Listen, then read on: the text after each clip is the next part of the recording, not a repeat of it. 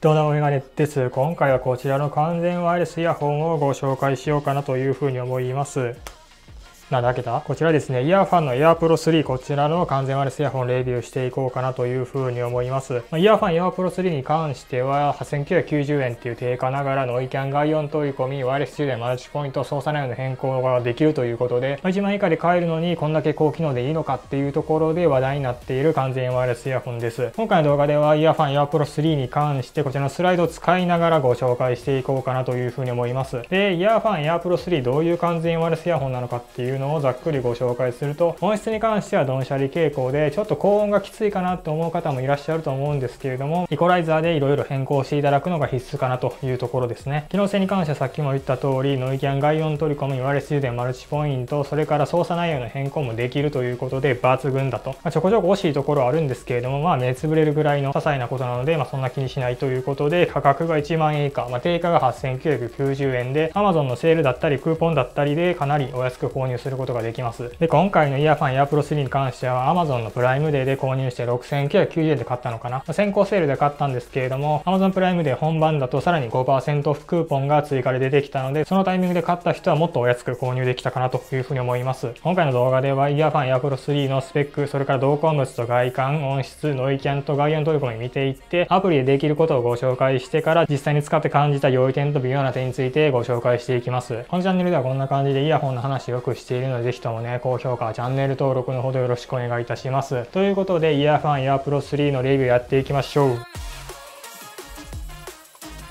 ということで、 EarFun Air Pro 3のスペックについてざっくり重要なところだけピックアップするとこんな感じになっていて、価格としては8990円、こちらが定価となっていて、Amazon のセールクーポンがあることによって、まあ、もっとお安く購入できますよと。例えば2023年の Amazon プライムデーだと6990円で売ってて、本番になった時に5%オフクーポンもありましたよということで、かなりね、1万円以下で購入できるお手軽な完全 OS イヤホンとなっております。で再生時間に関しては、イヤホン単体で9時間で、ケース込みで36時間、こちら ANC、ノイキャンオフの状状態で、ノイキャンオンの状態だと大体7時間ということで目安としては23割短くなるという感じなので、まあ、参考にしていただければというふうに思います。でもちろんノイキャン外音取り込みは対応してるんですけれどもワイヤレス充電マルチポイント操作内容の変更もできるということで1万円以下ながらここまで高機能な完全ワイヤレスイヤホンなかなかないということでいろんな YouTuber の方だったりブロガーの方が話題にしている完全ワイヤレスイヤホンとなっております。で同梱物と外観に関してなんですけれども同梱物に関しては、まあ、外箱にはハイブリッドノイズキャンセリングって書いてて、まあ、ノイキャンをアピールしてますよと同梱物に関してはイヤーファン、イヤープロ3本体と USB Type-A to Type-C のケーブル1本と取扱説明書とサンキューカードとイヤホンをクリーニングする用の綿棒が1本ついててそちらの使い方も紙で付属しているということですね。で、イヤホン本体見ていくんですけれどもイヤホン本体とあとはケースに関しても至って普通だと。まあ、黒で樹脂製というかプラスチック感のある普通のケースになってて、まあ、貝殻のような感じで開くことができますよと。スティックタイプになっていてイヤホンのタッチセンサーの部分が丸くくぼんでてタッチしやすいですよというところでも至って普通の完全割れ製法となっております。ただし、まあ、ケースに関してはちょっと皮脂汚れ、指紋汚れが目立ちやすいので、まあ、夏になって皮脂とかついた指で触ると結構ケースには皮脂汚れが目立つかなというふうに思います。まあ、イヤホンの形状としてはこんな感じでスティックタイプなので、イヤーピースに関しては浅めのものを使うのがいいかなというふうに思います。ということでね、外観に関しては至って普通の完全割れイヤホンですよと。あれ？音質がない。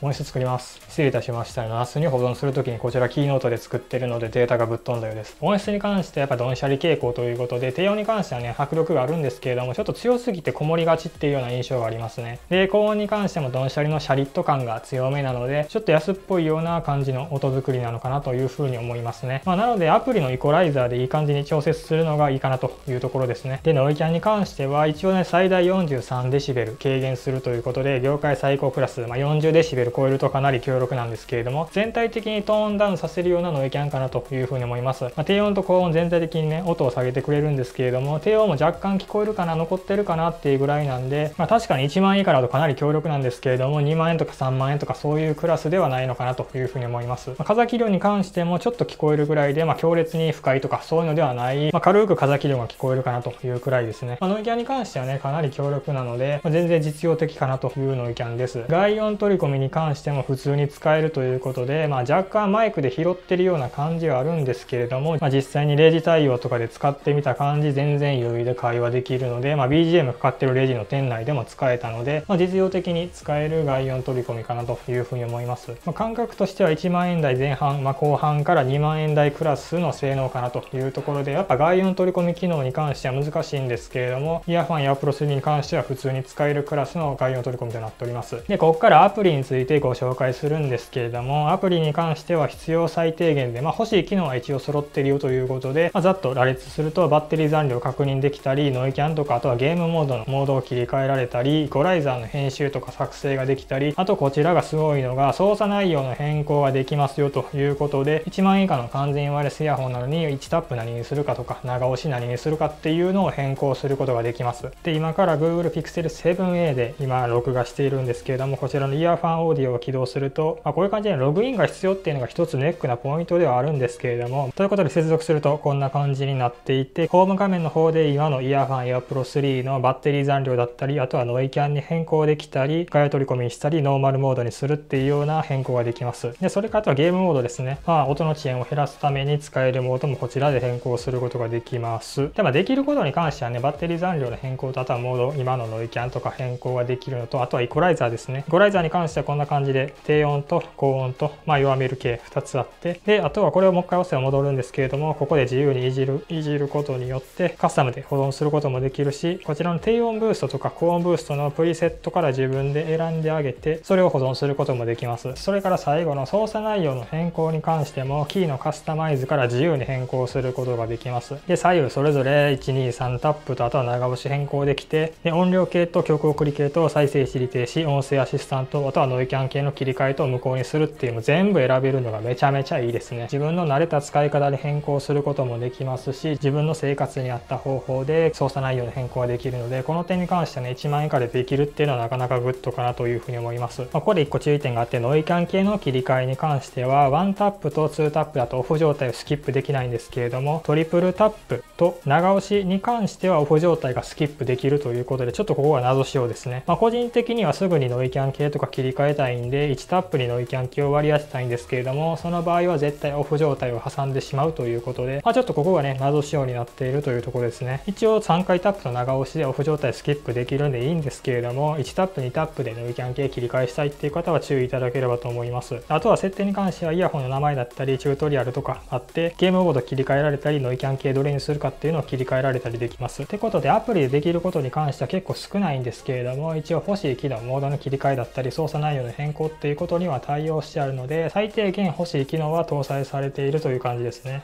で続いてがイヤーファン AirPro 3を実際に使って感じた良い点についてざっと羅列させていただきました。って言ってもねもうこの1点に尽きるかなと。もう機能性が優れすぎということでノイキャン外音取り込みはもちろん対応しているしワイヤレス充電にも対応しててマルチポイントにも対応してて操作内容の変更もできるということことで、まあ、これが1万円以下で売ってるということはもうどういうことかと。もうこれ他の完全ワイヤレスイヤホン、まあ、1万円以下とか2万円以下とか出てきた時に、まあ、音質以外で勝負した時に確実にイヤファン AirPro 3が勝つということでいろんなところから完全ワイヤレスイヤホンが出てきているんですけれども今年の2023年の完全ワイヤレスイヤホンそれから来年とかもう適当に作っただけだったら確実に売れないというような未来が確約されている、まあ、それくらいのクラッシャーのようなイヤホンがこちらのイヤーファン AirPro 3だという風に感じましたね、まあ、2万円3万円クラスのハイエンドフラグシップの完全ワイヤレスイヤホンでも例えばワイヤレス電対応してなかったりマルチポイントに対応してなかったり、まあ、操作内容の変更がうまいことできないというイヤホンも多数あるんですけれども、まあ、イヤファン AirPro 3に関しては機能面がめちゃめちゃ優れてますよということですね。で逆に使って感じた微妙な点に関してなんですけれども、まあ、一応3点挙げさせていただきました。で1個目が各機能に関して付加的な機能はないということで、まあ、ノイキャンの強度変更したり外音取り込みで音声を増幅するモードだったりあとはイヤホンを探す機能とか、まあ、こういうような付加的な機能は搭載してないっていう点ですね。まあこれに関しても1万円以下やから全然許せるかなと。ノイキャンだったり外音取り込みだったりそこら辺がついてるので別に付加機能はそこまで求められへんかなというふうに思いますね。あとはかゆいところに手が届かない点があって、まあ、例えばアプリを起動した時に自動的にホーム画面に遷移しなかったりあとはノイキャン系のオフ状態に関して1タップと2タップスキップできなかったりっていうまあちょっとかゆいところに手が届かないところはあるんですけれどもまあ1万円以下やしな全然ええかなと思えるくらいですね。あとはまあケースの指紋が目立ちやすいかなということで、まあこれからね、今撮ってるのが夏なんですけれども、皮脂汚れとかケースにつくとちょっとね、目立っちゃうかなというところがまあ一番ネックなポイントかなというふうに思います。ただまあ布でちょっと拭いてあげれば結構綺麗になるし、まあケース自体ね、基本ポケットとかカバンとか、あとはデスク上に置いてあるっていうことなので、まあ全体的に使って感じた微妙な点に関しては結構些細な点かなというふうに思います。ということでまとめに入るんですけれども、イヤーファン、イヤープロ3に関してもぶっ飛びイヤホンということで、まあ、音質に関してはね、ドンシャリ傾向でイコライザーで調節する必要があるかなというふうに思いますが、まあ、機能性に関しては抜群で、まあ、小さい惜しいところあるんですけれども、まあ、それを考えたとしても価格が1万円以下でセールとかクーポンとかがあるんで、まあ、安く買えてここまで機能性があるんだったら全然許せるかなというレベルの完全ワイヤレスイヤホンとなっております。で、まあ、1万円以下いろんなイヤホン出てるんですけれども、機能性を重視するんだったら確実にイヤーファン、イヤープロ3こちらが選ばれるかなと。まあ、とりあえず機能性で選ぶんだったらイヤーファン、イヤープロ3一択かなというふうに思います。まあ、そもそもノイキャン対応してなかったらノイキャンにすることできへんし、ワイヤレス充電対応してなかったらワイヤレス充電することができないんで、まあ、そもそも対応しているだけでめちゃめちゃありがたいイヤホンだというところで今回の動画を締めさせていただきます。まあ、このチャンネルではこんな感じでイヤホンの話よくしているので、ぜひとも高評価、チャンネル登録のほどよろしくお願いいたします。また今回の動画の内容に関してはブログ記事でもがっつり解説してあるので、文章ベースでがっつりレビュー見たい方は概要欄のリンクから見ていただければというふうに思います。まあ、ここら辺にもね、QR コードあると思うので、こちらからも見ていただければというふうに思います。また私、メガネはメガテンパというブログも運営しております。こちらのブログではね、ガジェットの話だったり、ガジェットをよりよく使うためのハックとかご紹介しているので、ぜひともこちらに関しても見ていただければというふうに思います。概要欄に貼っておきます。また、Twitter、Instagram、スレッズもやっております。フォローよろしくお願いいたします。ということで、またいつかどこかでお会いいたしましょう。お相手はメガテンパのメガネでした。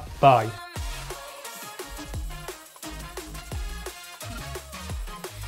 ちょっとプレゼン形式にしてみたけど、光の反射がエグいんでちょっとやり方を考えようかなというふうに思います。